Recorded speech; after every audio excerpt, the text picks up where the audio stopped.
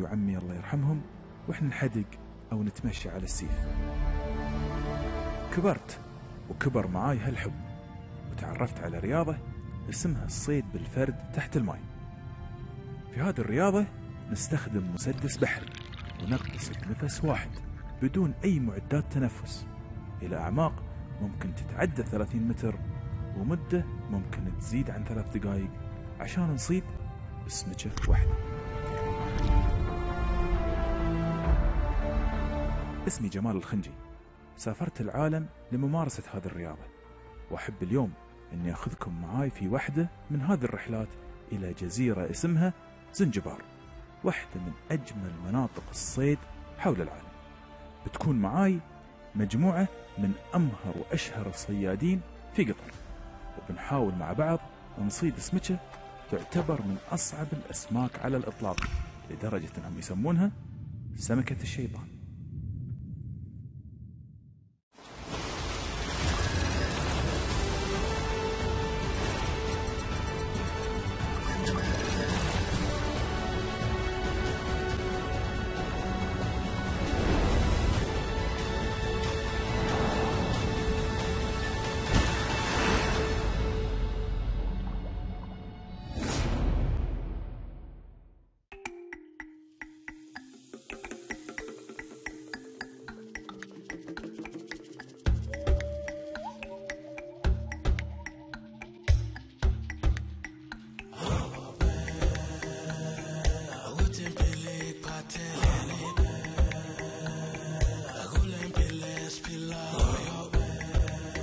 قلب زنجبار الجزيرة التنزانية الساحرة.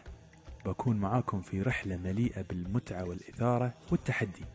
ومعاي اثنين من أمهر الصيادين القطريين. محمد جاسم الكواري أحد المدراء التنفيذيين في إحدى شركات الاتصالات القطرية. يعتبر محمد من أشهر الصيادين بالمسدس الآلي على مستوى العالم ومن أكثرهم خبرة على الإطلاق.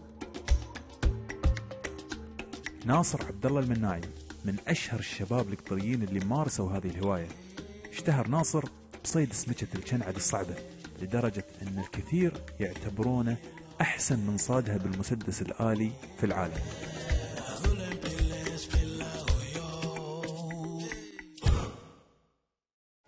شوف يا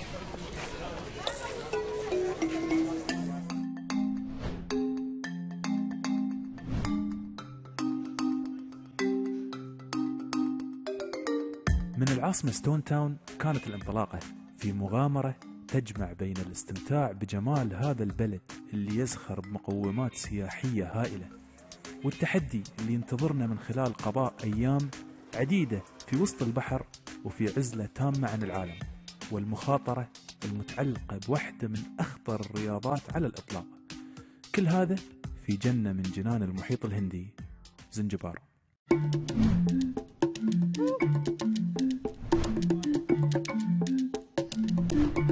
ستون تاون أو مدينة الصخور تقع على الساحل الغربي لجزيرة أنجوجا وهي عاصمة زنجبار. اكتسبت اسمها من العديد من المباني الصخرية واللي تقع في الجزء القديم من المدينة واللي دارت حولها العديد من القصص والحكايات. التجول في ستون تاون وشوارعها القديمة الضيقة الممزوجة بعبق التاريخ اللي يعود للقرون الوسطى خلانا ننسى أو بالأحرى نتناسى ضغط التحدي اللي جناله. أسواق المدينة التقليدية تقدم لك صور إبداع أهلها في الصناعة التقليدية والتجارة وصور أخرى لإبداع الخالق في وهب ثروة سمكية مدهشة تمثل العنوان الأبرز للأطباق اللذيذة في هذه المدينة. وبينها الشوارع القديمة وأزيد من 1100 مبنى يعكس حضارة عربية وإسلامية عريقة وهو اللي جعل المدينة الصخرية تصنف على أنها إرث عالمي من قبل الأمم المتحدة. إرث تتكلم عنه نتوءات أزيد من 200 باب منحوت من خشب المهوغني بأجمل نحوتات الخط العربي والإسلامي وهي اللي تعتبر فن قائم بحد ذاته. غروب شمس ستون تاون يحكي آلاف القصص الجميلة. اللي انرسمت على شواطئها الرملية الناعمة ومسحتها مياه البحر الزرقاء. على مر التاريخ قصص المغامرين قصص التجار وقصص عشاق البحار.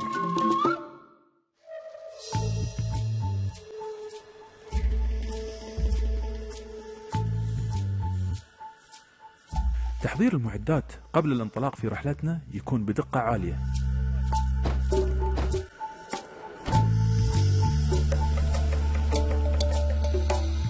طريقنا للتحضير لهذا التحدي كان علينا الاستعانة بطاقم محترف من غطاسين وصيادين وتقنيين مختصين في هذه الرياضة.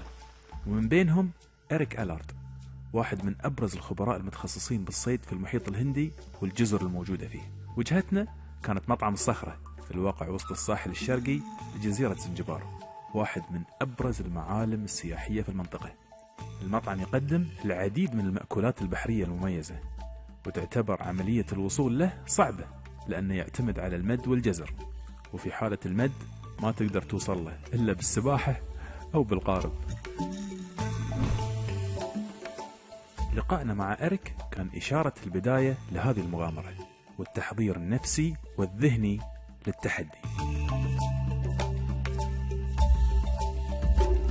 Eric, it's so good to be here again. Yeah, nice to have you, Jamal. It's It's been a a long pleasure. time. Yeah. Pleasure, always a pleasure to be here. I love this place, man. It's such an amazing place. Yeah. So, tell us what to expect in the coming few days. Right. So tomorrow morning we'll leave for Latham Island. During the night we'll set anchor at Latham. We'll start our diving. We've got six days of diving. We've got uh, excellent weather predicted, so it should be an awesome trip.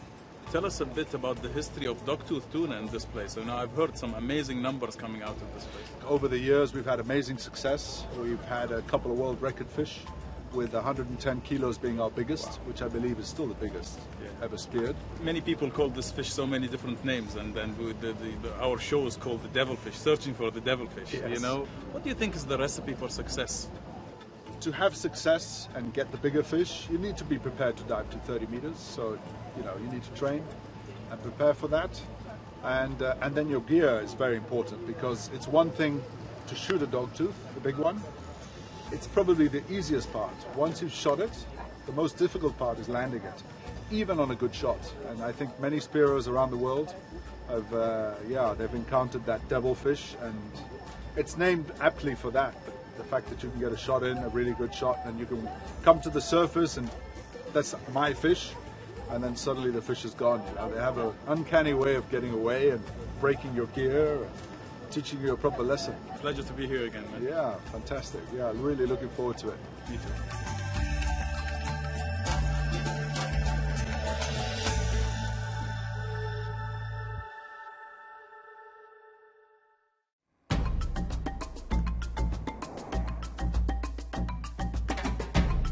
بين ضغط التحدي اللي كان يقترب تدريجيا وجمال المنطقة كملنا طريقنا على الساحل الشرقي لزنجبار. وجهتنا هالمرة كانت غابة جوزاني.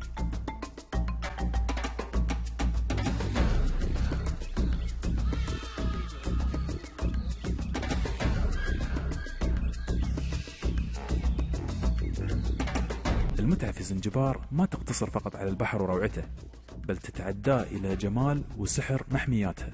وجوزاني واحدة من هالمحميات. وفي هذه المحمية يعيش قرد اسمه قرد الكولوبوس الأحمر الزنجباري.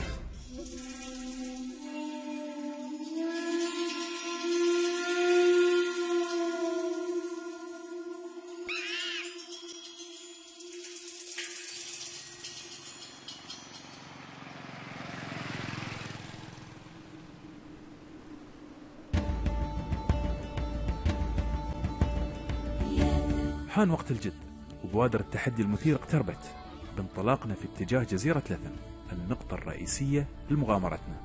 لما تبتدي في مثل هذه الرحلات في أمور كثيرة لازم تفكر فيها وتحضرها سواء قبل الانطلاق من الدوحة أو قبل الصعود للقارب.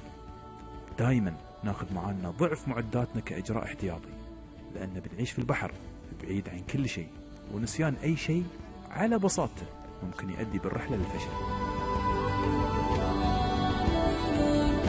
أول ما رجلك تلمس البحر تحس بالدفء. نسيم البحر العليل يداعب بشرتك ولون البحر الأزرق يلامس مخيلتك ويبدأ السؤال اللي يتكرر كل مرة. إيش اللي يخبي لنا البحر بين أمواجه في هذه الرحلة؟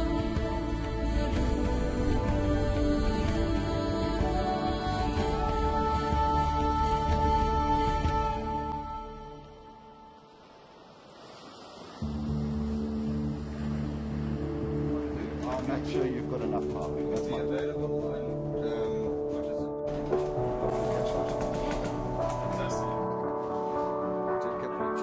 كل قارب وله قوانين وكل قبطان هو سيد البحر اللي يمشي كلامه على الجميع. عشان كذي أول ما ننزل المركب القبطان يعطينا تعليماته وقوانينه اللي لازم نتبعها بحذافيرها. وأهم شيء يعلمنا إياه أن الأمن والسلامة قبل كل شيء.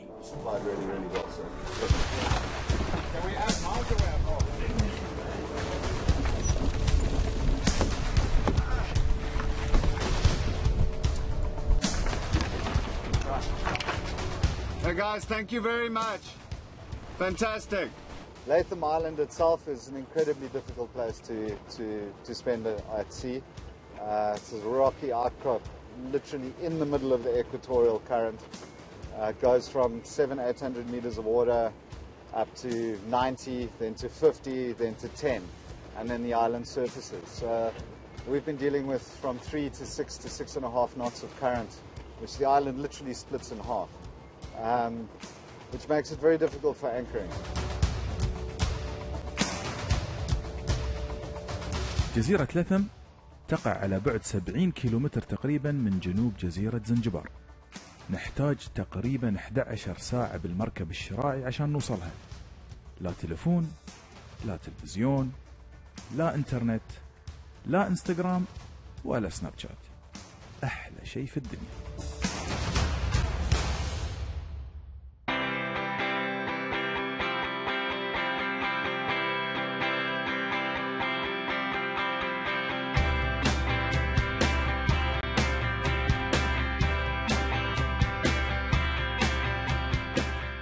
وصولنا لوجهتنا وفي صباح يومنا الأول تحضيراتنا كانت على قدم وساق للغطس الأولى. قبل الغطس لازم نتأكد من حالتنا البدنية والذهنية وحالة معداتنا. نجرب ونختبر كل شيء تجنبا لمفاجآت غير متوقعة. فهذه الرياضة على قد ما هي ممتعة وعلى قد ما هي مثيرة إلا أنها محفوفة بالمخاطر.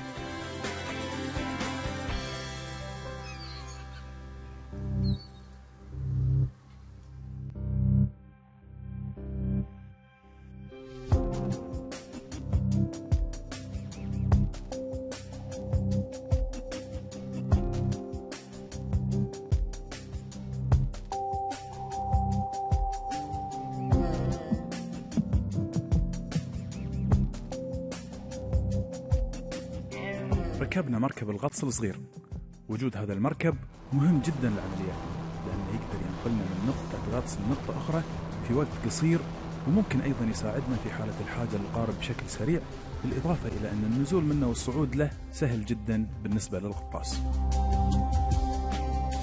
Hopefully, we'll see the rainbows. Maybe they're not on the surface, but they might be visible, you know, maybe at 10 meters or 15. And it's perfect. Uh, usually, if they're up all the way on the surface, you'll see the birds above them. But I don't see any birds, so. لما ننزل البحر من القارب ننزل على مسافة تبعد عدة مئات من الأمتار من نقطة الغطس التيار يحركنا في اتجاه النقطة المطلوبة بسرعة كبيرة نستخدم هذا الوقت القصير على السطح للتنفس وتشبيع جسمنا من الأكسجين استعدادا للغطسة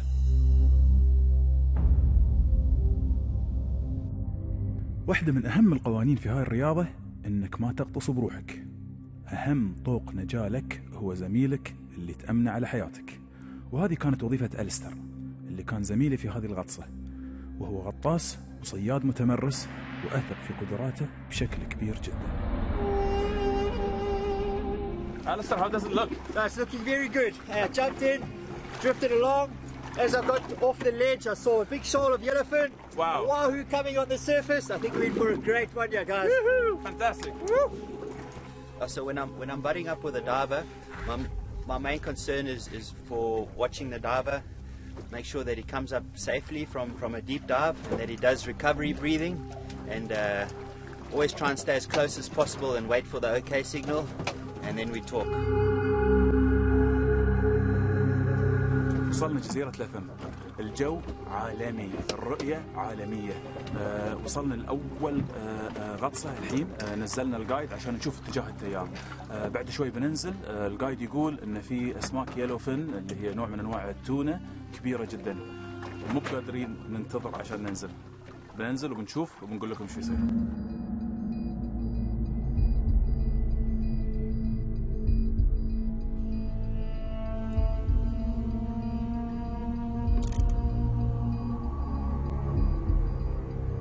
سمكة اليلوفن تونة أو تونة الزعانف الصفراء.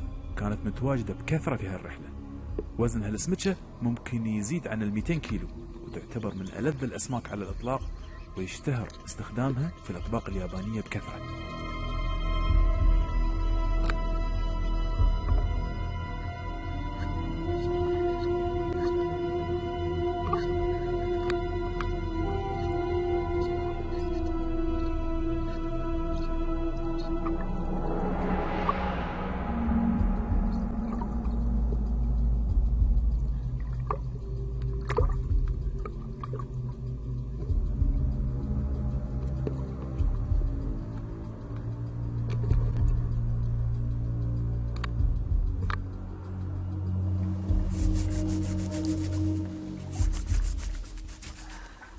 بعض الأحيان نضطر للتضحية ببعض السمك الجنسية عشان نستخدمه كطعم لجذب السمك الأكبر وللأسف مرات هالسمكة تكون أكبر سمكة صدناها في اليوم وألذها على الإطلاق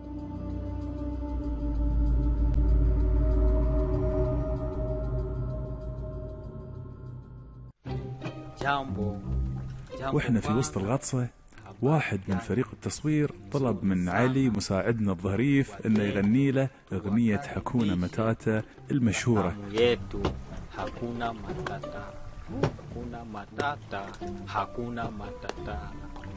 لكن. للأسف ما لحق يخلصها. Sorry, I'm sorry.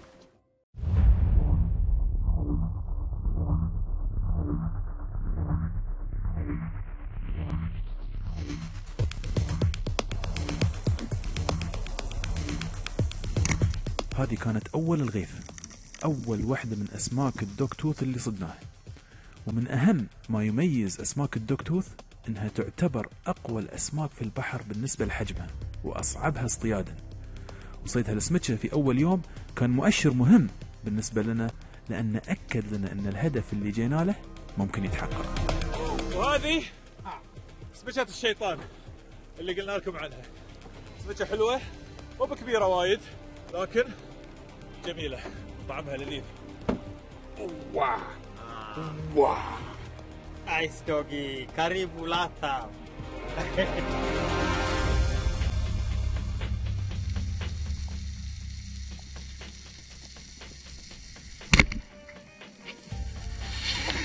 وبعد السمكة الأولى بلحظات يقدم لنا البحر هدية ثانية. واهو. اسماك الواهو قريبة حق أسماك الكنعد من أجمل الأسماك من ناحية الطعم والأكل وتعتبر من الأسماك الغالية جدا سمكة حلوة فيها يمكن فوق ال 20 كيلو استفتحنا فيها الحمد لله رب العالمين That's it. Good start. One dive, one fish. Yeah, that's the way to do it.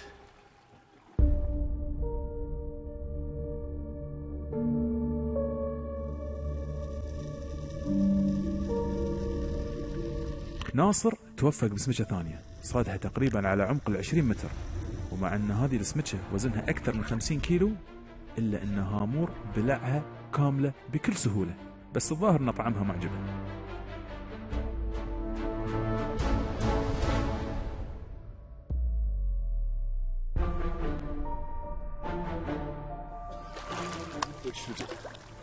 وصلنا الكبيرة هذه الكبيرة.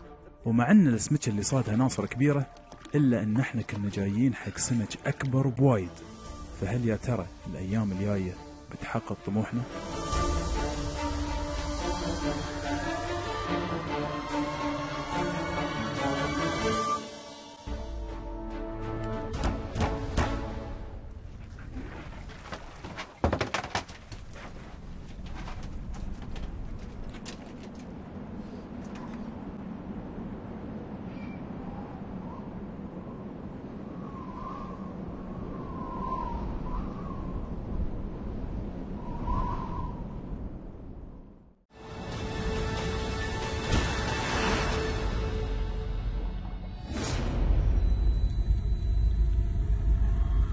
تشوف إن الحبال والبويات قاعدة تنطلق بهالطريقة السريعة والمخيفة نحو العمق تعرف إن شيء خطير على وشك إنه يحصل.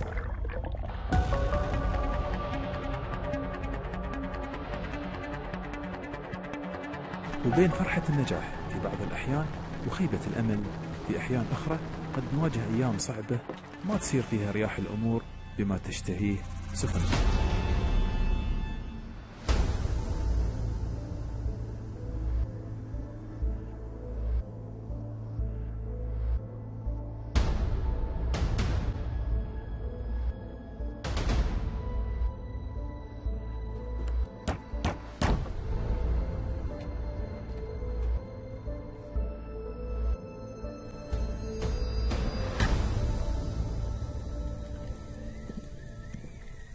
في بعض الأحيان ممكن تسوي كل شيء بالشكل الصحيح لكن في البحر دائما يحصل اللي ممكن ما تتوقعه وما تتمناه وهذا هو اللي حصل مع محمد. تقريبا الحين الساعة أربع ونص العصر طبعا أحسن وقت حق الصيد. آه نزلت تقريبا على 19 متر. جاتني دوك توث آه حجم عجيب. ثورت عليها تثويرة زينة كانت في الراس. آه خذت البوي ونزلت. وقعدت أحاول أطلعها فوق وبعدين يوم طلعت فوق لقيت إن اليرايير كلوها. وصلوا فوق لين عندنا كلوها وراحوا.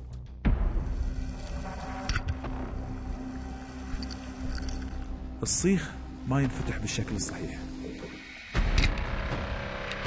الخيط ينقطع. العقدة تنحل. هذه الأشياء هي أسوأ كابوس ممكن يواجه الصياد. كان يوم ممتع آه، طويل أحداث كثيرة آه، شفنا سمك وايد آه، طريقة غريبة وطبعا الدكتور ما قصر لتفهم كلهم. أوكي ولا يبشي على الطراد. ناصر ما شاء الله عليه جاب لنا واحدة فوق هني كم؟ 50 تقريبا كيلو.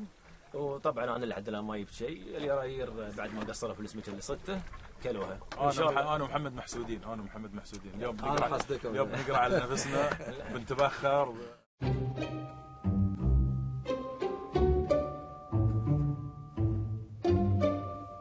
أنا يبغى اشر لك يا أخي ليش ما تنزل على طول؟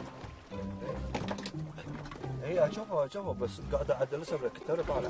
شنو توي طالع؟ أنا صار لي دقيقه 45 تحت. لين طلعت أنت المفروض تكون جاهز تنزل. لأن كان لأن كانوا جايين أشوف ال GT وأشوف. لا لا خلي ال GT كون في دوكيس تحت يلحق ال flasher انزل على طول كنت وقت صح. يبغى اشر لك انزل انزل. حوار حاد بين محمد وناصر خلى ألستر يخاف شوي فقرر إنه ينتظر لين يخلصون نقاشهم عشان يطوف.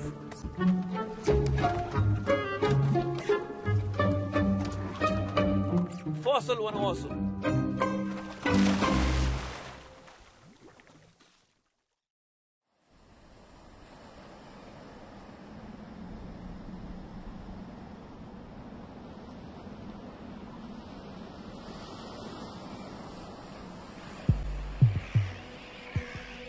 تواجد الطيور بشكل مكثف في الجزيرة مهم جدا فهو يعطينا ثقة وإيمان بأن اختيار الوقت والمكان كان صحيح. فحركة الطيور وكثافة نشاطها حول الجزيرة دليل على أن البحر فيه نشاط غير عادي ودليل آخر على أن نشاط الأسماك تحت البحر كثيف.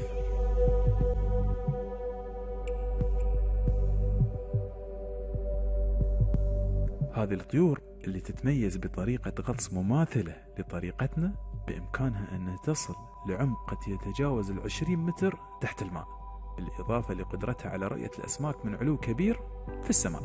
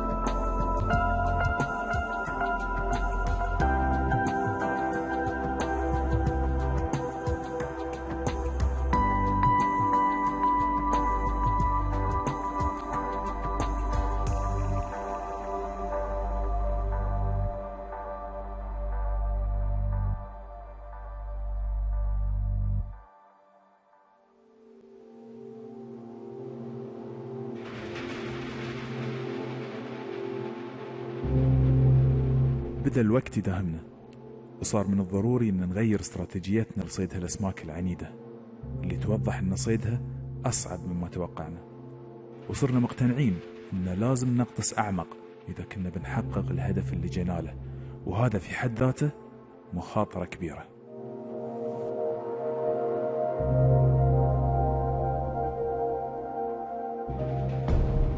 خبرة أرك الكبيرة أضافت الكثير لرحلتنا. لأنه يمتلك تقنيات وأساليب مهمة ومميزة تسهل من مهمتنا So what I've done on this drift is that I've stayed on the boat. I haven't gone in the water with the guys.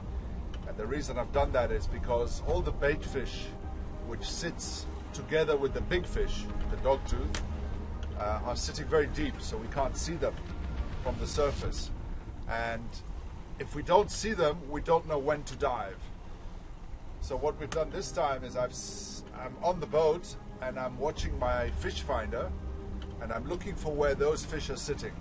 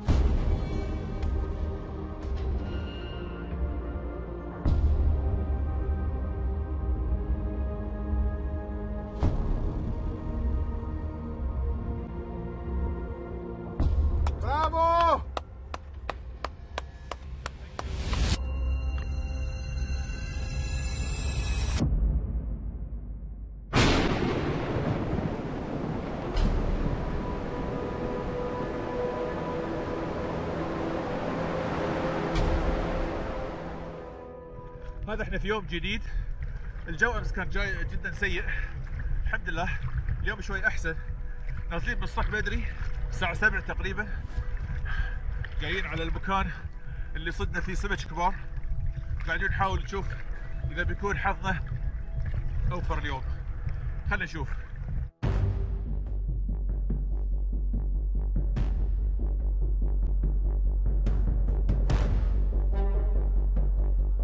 ومع المحاولات المتكررة والإصرار على تحقيق الهدف جات الفرصة اللي كنت أنتظرها. الفرص في هذه الرياضة قليلة وإذا جاتك لازم تستغلها وهذه بالنسبة لي كانت فرصة العمر.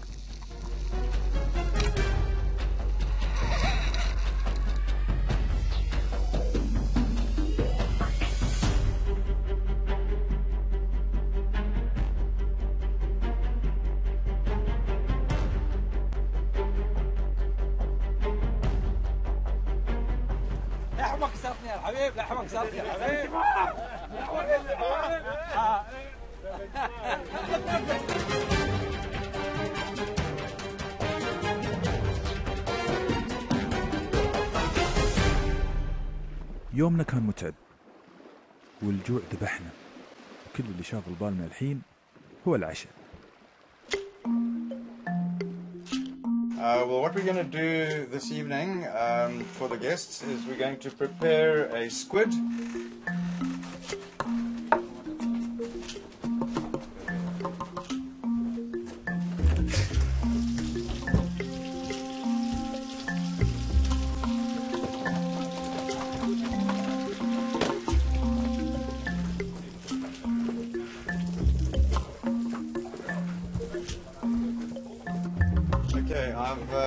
for you the calamari steaks, which I've just pan fried gently in garlic butter with ginger and a bit of lime.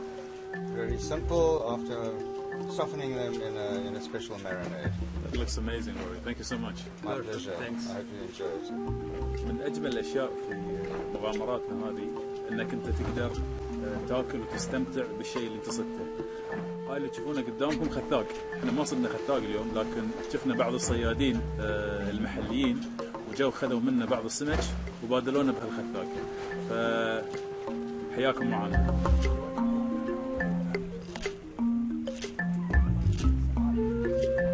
أجمل شعور أنك تشارك الناس في صيدك ومن عوايدنا أن نرجع معظم الصيد لأهل المنطقة كنوع من الشكر لهم على استضافتهم لنا والسماح لنا بالصيد في بحرهم الحمد لله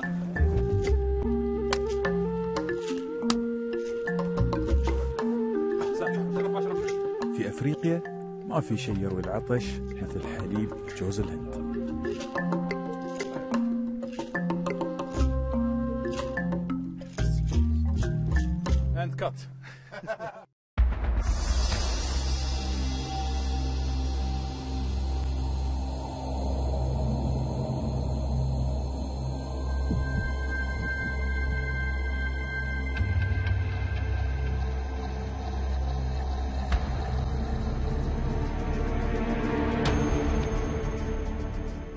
الأخير.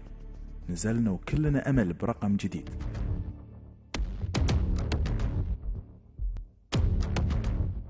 لكن عائلة من أشرس أسماك القرش قررت أن وقتنا في هالمكان انتهى.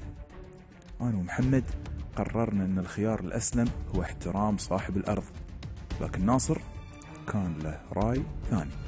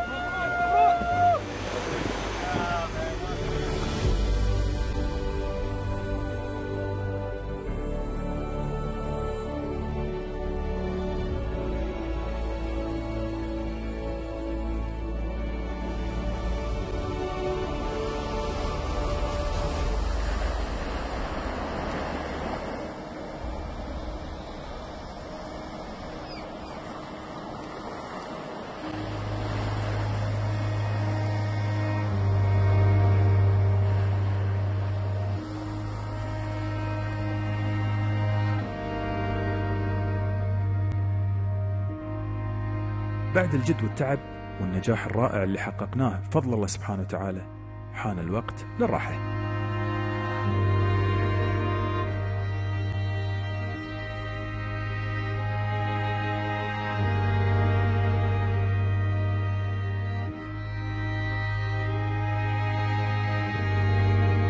فرصة جديدة للاستمتاع باللي تقدمه زنجبار الرائعة من مفاجآت لزوارها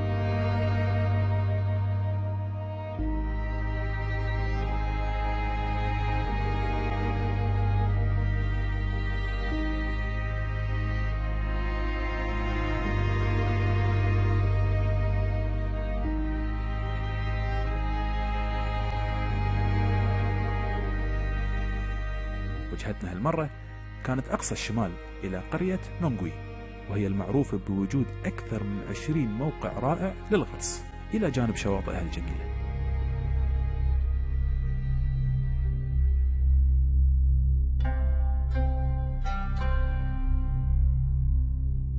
تشتهر هذه القرية بصناعة القوارب الشراعية منذ أكثر من خمس قرون وتنفرد بمنارة رائعة.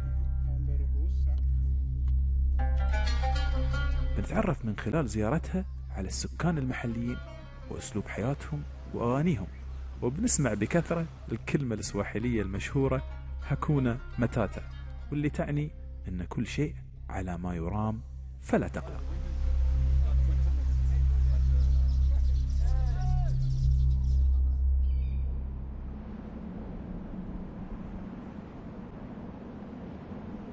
زيارة نونغوي ما تكمل بدون المرور على أحواض تربية السلاحف اللي تشتهر بهالمنطقة. Hello.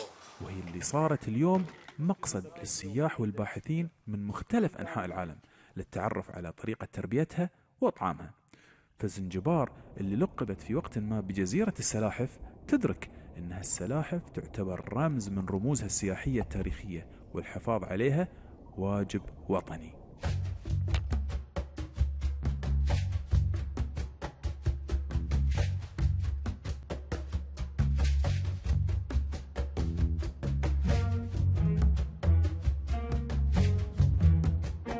Habari Suleiman.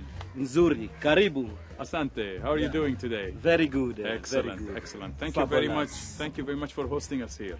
Karibu. Yeah. Suleiman, how old is this place? This place is uh, was started in 1993. It was an idea of one person. His name is called Baba Kasa. He's a local fisherman. He wasn't an educated person, but uh, uh, he was just coming from the fishing village of Nungwi. But his good idea of starting this project, the main mission was uh, uh, to conserving the island tortoise population.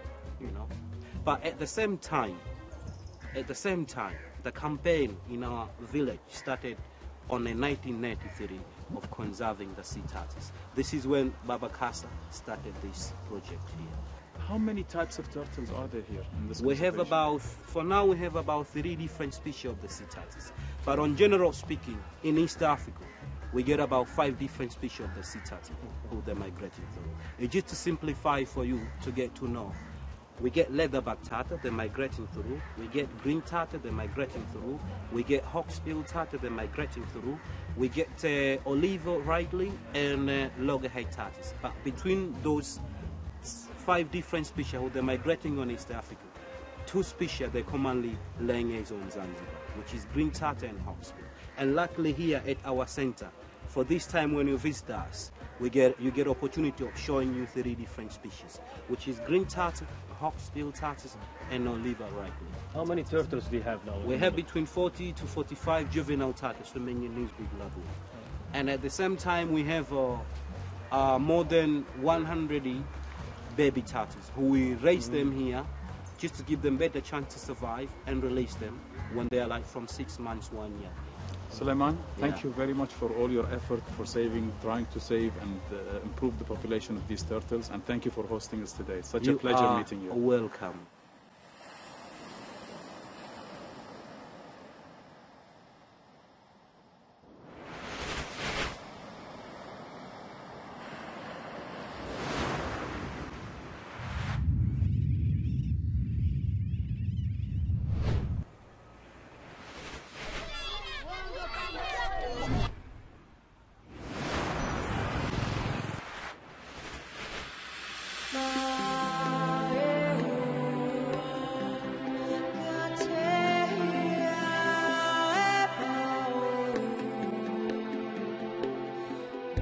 بين المتعة والتحدي والسياحة. كانت رحلتنا إلى زنجبار مغامرة بتبقى في ذاكرتنا لسنين طويلة. أصدقاء جمعتهم الرياضة وحب المغامرة.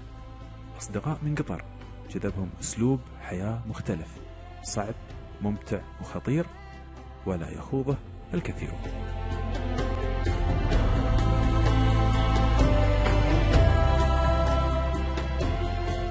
وصلنا إلى آخر رحلتنا نتمنى تكونون استمتعتوا معنا بمشاهدة هذا البرنامج مثل ما إحنا استمتعنا في ان إحنا نحضره ونقدمه لكم.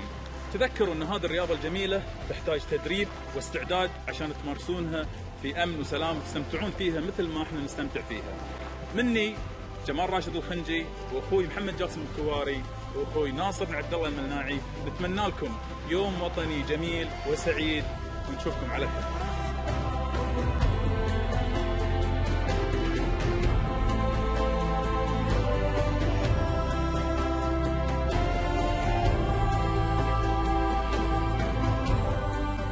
عالمنا مليء بالمغامرات والتحديات وإحنا القطريين نحب التحدي. دائما نحاول نترك المألوف ونبتعد عن السهل إلى أن نلتقي معاكم في بقعة جديدة من بقاع هذا الكوكب الجميل ندور فيها على حلم صعب وسمكة أصعب